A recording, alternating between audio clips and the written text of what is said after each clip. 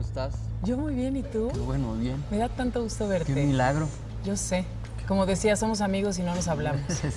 Eso no debe ser. Ya estamos aquí, familia, con Benny Barra.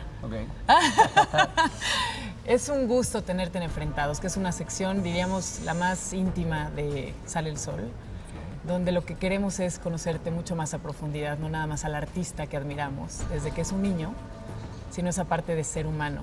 Gracias, amiga. Placer estar acá. Gracias. Bienvenido, vienes aterrizando.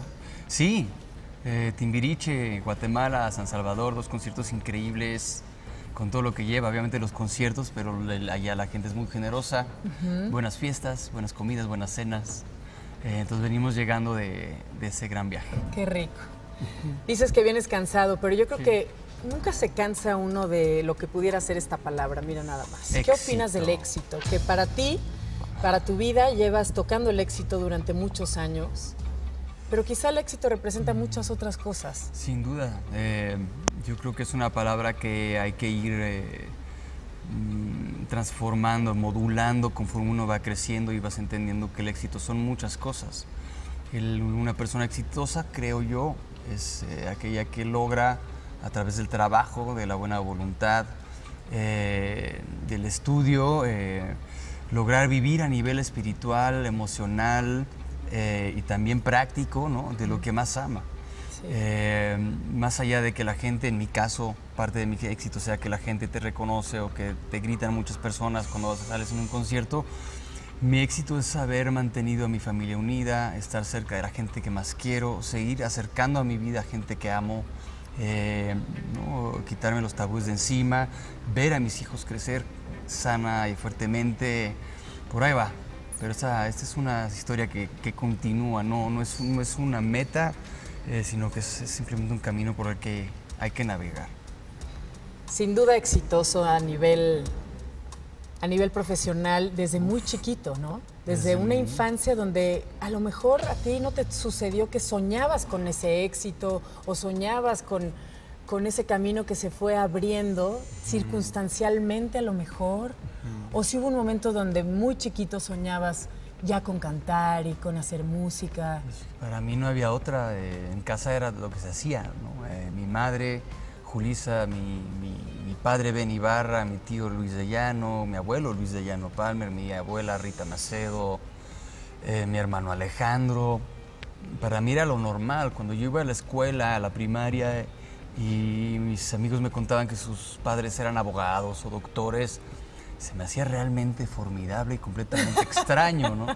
Entonces tuve la fortuna desde muy pequeño de, enamorarme de esta profesión, del arte, de la música, eh, verlo muy de cerca con mi madre y mi padre y después, eh, pues el, el, goce de haber entrado a un grupo que definió mi carrera, mi vida, eh, hace 36 años y que sigo ahí.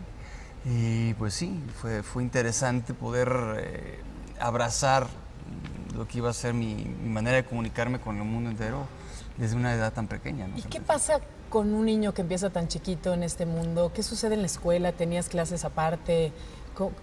¿Qué pasa? Bueno, al principio eh, mi madre era curiosamente muy estricta, precisamente por haber sido ella también, empezado su carrera a los 15 años. Eh, ella siempre, y ella nunca quiso estar en, en el estrellato. Julisa siempre quiso estudiar, quiso como esa parte. Es por eso que después se convierte más en productora, ¿no? Que, que, que, en protagónica. Y, eh, y, de alguna manera lo que, lo que se logró es reunirnos, de, em, abrazarnos con gente muy, muy, muy amorosa. María Elena Galindo, Maricia González de la Vega, por decir dos, dos de las personas que realmente nos cuidaban mucho. Y Julisa, si, si yo tenía, no sé, me iba extraordinarios, lo cual era común, eh, no me dejaba ir de gira. ¿no? Y no, no, no tiene extraordinarios y, no va a ese show. O yo me iba de, campamento los veranos y adiós la gira de verano. Esa era una realidad. Me cuidó mucho. Mira nada más. Ándale. Atracción. Ay, ay, ay. Mucha. Siempre. ¿Atracción hacia qué?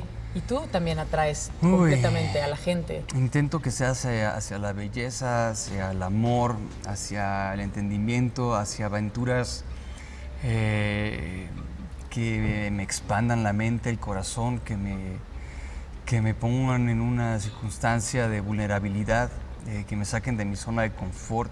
O sea, ¿no te da miedo esa parte? Pues no, no, sí me da miedo, ¿cómo no?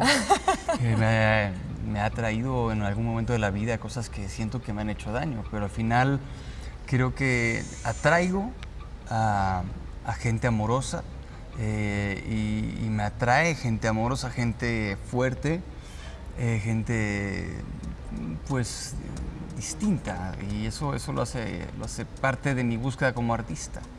Eh, la verdad es que he tenido una vida, siento muy, muy, muy tranquila y a veces los artistas necesitamos un poquito de, de conflicto ahí como para poder cantar, poder eh, visualizar historias de las cuales eh, la gente se pueda agarrar y, sí. Y conectar con esa ah, parte, claro. ¿Qué color quieres? Te voy a dejar escoger esta ah, vez. Pues no sé, que le damos, no hemos dado morado, pero A ver, vamos a, ver, vamos a curiosear acerca de tus sueños. Mis sueños. ¿Has cumplido tus sueños? ¿Te mm. faltan muchos por cumplir, Beni? Muchos, sí.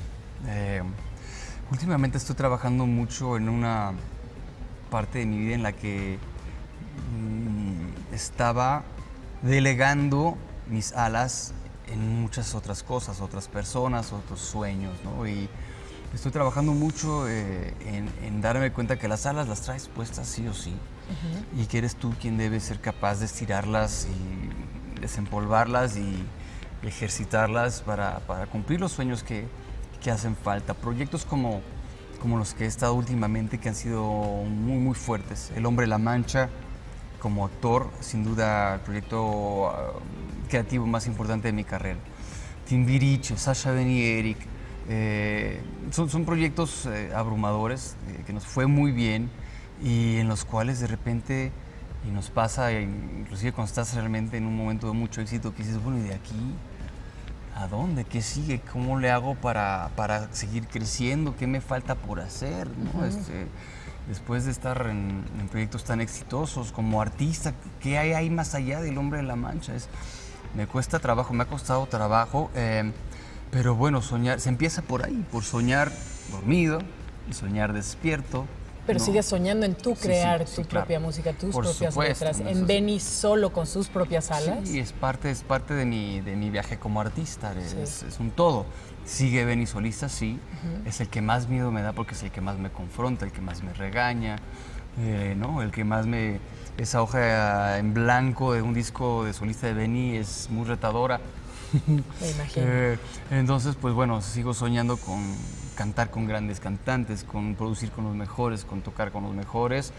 Eh, y sueño con sanarme a mí, sanar mi infancia, sanar mis, mis, eh, mis relaciones, estar bien y de ahí soñar mucho y volar mucho. Seguir volando alto. Sí. Y has hecho volar muy alto a tus hijos, Benny dándole estas alas de las que tú estás hablando, que también te dieron tus padres.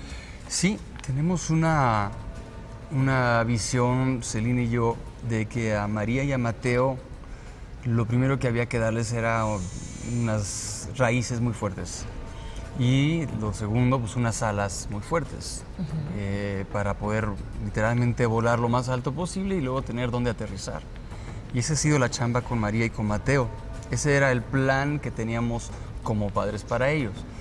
Eh, obvio, se entra ahí el libre albedrío y, la, voluntad de los hijos, que ellos también pues, son los que tienen que al final definir hacia dónde quieren ir y, por dónde quieres que los guíes. Nos tocaron dos hijos muy, muy brillantes, muy inteligentes, muy disímiles, eh, eh, distintos a nosotros. una María que desde que nació es un remolino de energía, que antes de que no tiene filtros, que dice las cosas tal como son, eh, muy creativa, muy hermosa. Eh, y nos tocó un alma eh, exquisita que es Mateo, un niño de un alma vieja. él nació maduro en todos los sentidos. Desde que, desde que tenía un mes de edad era un niño de un mes de edad, pero maduro. y es un cuate que tiene mm, siempre conversaciones inteligentes con, con cualquier persona con, con, quien se siente a platicar. Es un músico nato. Eh, pero al mismo tiempo es un chavo que quiere romper esquemas y, moldes y lee libros de economía, ¿no? Y este, no sé. Ah, sí, sí, sí, sí. revolucionado. Es interesante. Entonces, pues sí, es, es, de los grandes triunfos que, hemos logrado, Selina y yo juntos, sin duda son nuestros hijos. Sin duda. Yo creo que vamos a la última pregunta. Eh, uh, estoy en conflicto porque por un lado me dicen, quieren saber en cabina cuál es tu, tu, tu, inspiración cuando compones, cuando te toca ya finalmente estar a solas, cuando te vas a esos viajes y te desapareces del mundo. ¿Cómo le haces para conectar y empezar a componer después de tanto ruido afuera y estos conciertos y tanta gente y tantos amigos? Me toma mucho tiempo. Mm, soy cero prolífico, a mí me cuesta mucho trabajo componer. No lo hago diario, entonces este, eh, empiezo de entrada por, por hacer un análisis de, de, lo que ha sido mi, trabajo previo, cómo fue mi último disco, La Marcha de la Vida, que ya salió en 2010, 2011 no soy el mismo de ayer, entonces sin duda no soy el mismo de hace 7, 8 años. Entonces va a venir un disco de mucha introspección, va a venir un disco de mucho autoanálisis, eh, de mucha vulnerabilidad, de una crisis eh, eh, emocional ahí que siento que hay que aprovechar y canalizarla, porque ¿qué es uno como artista sino espejo de, de lo que está allá afuera? Ese es tu mayor logro y la manera de ser un mejor espejo para alguien que escucha tu trabajo, eh, pues es realmente limpiarte por dentro primero. Y esa es la chamba que hay que hacer antes de un disco. Y después, pues bueno, contar historias, algunas muy personales, otras simplemente son narrativas, eh, eh, unas son completamente de ficción. Y otras, y otras tendrán mucho que decir. Sin duda será un disco, Benny, adivino yo. Este, será un disco con un Benny maduro será un disco que finalmente tocas una etapa en la vida como pareja donde el nido se queda vacío. Eh, y yo no he escuchado ninguna canción sobre el nido vacío y seguramente le darás un toque especial. A ver qué pasa. Estoy, estoy feliz, estoy contento, estoy efervescente. Estoy feliz de estar acá contigo, de reconectar contigo. Igual, eh, igualmente. Les confieso que yo no, yo no sabía que venía. me enteré hace 20 minutos. Mi, tío Luis me dijo, tienes que ir a tal lugar, al Foro 2, no sé qué, y te van a entrevistar. Y para mí ha sido una delicia que haya sido contigo. Qué rica un privilegio para mí también. Que, me hayan eh, abierto las puertas de Sal el Sol y pues ojalá y pueda regresar con más tiempo. Muchas gracias, Benny. Un placer, un placer conectar. Gracias. Te quiero mucho. Y a ti. ¡Vamos!